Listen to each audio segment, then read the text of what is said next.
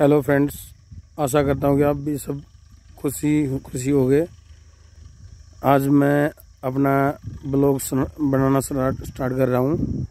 आज मेरा पहला ब्लॉग है और मैं आपको दिखाना चाहता हूँ कि मैं अपने जो भैंस और गायें होती हैं, उनके गोबर को खेत में डलवाने के लिए लेके आया हुआ हूँ और बिहारी यूँ से डलवा रहा हूँ खेत में।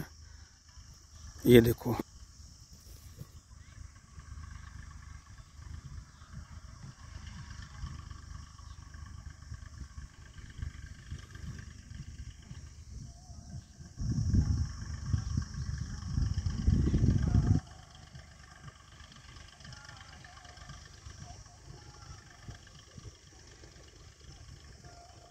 जूम करने के बाद शायद आपको साफ़ साना दिखाई दे रहा हो।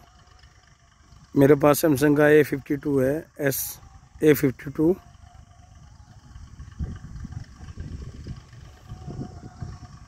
देखो,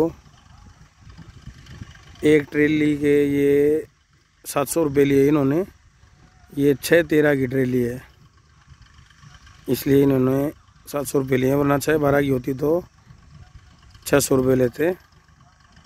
धीरे धीरे ट्रैक्टर चल रहा है। और ये खाद को पूरे खेत में गिरा रहे हैं।